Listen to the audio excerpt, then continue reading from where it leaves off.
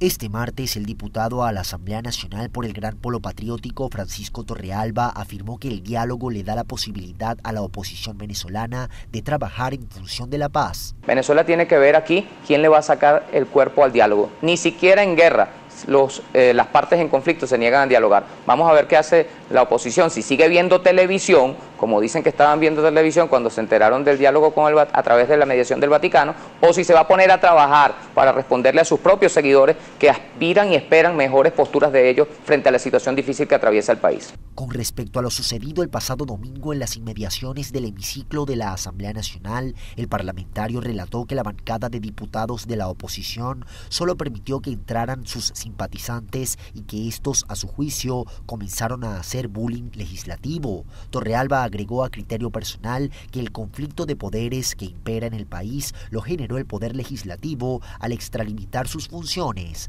Desde nuestra plataforma multimedia Alberto Martínez Bellomo, Noti Minuto.